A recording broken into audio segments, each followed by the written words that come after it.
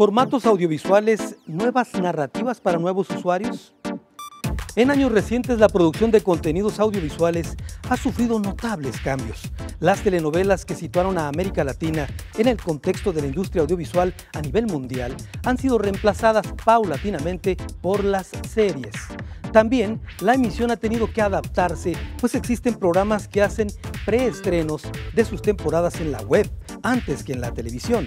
Temporadas completas de series que son liberadas para que los usuarios las disfruten sin la espera del capítulo semanal.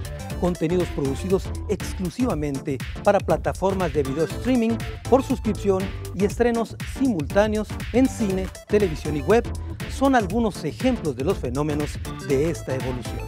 En este programa discutiremos sobre el tipo de formatos y las narrativas más comunes y exitosas en la esfera audiovisual.